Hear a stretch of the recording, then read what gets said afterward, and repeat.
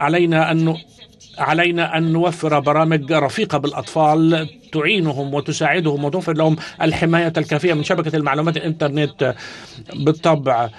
لا أدعو لا أدعو إلى ترك الإنترنت على الإطلاق ولكن أن يأخذ منها الشيء الذي يفيده. نعم بالنسبة لي فإنني فإنني أحب أن أرى فإنني أريد أن نبدأ بالأطفال وهم في سن صغيرة نبدأ أن نبدأ بهم نعرفهم ما هي حقوق الإنسان ما هي هذه المفاهيم كلها حتى لا يستطيع حتى يعني لا تتلقفه هذه شبكات التواصل الاجتماعي عندما يكبر.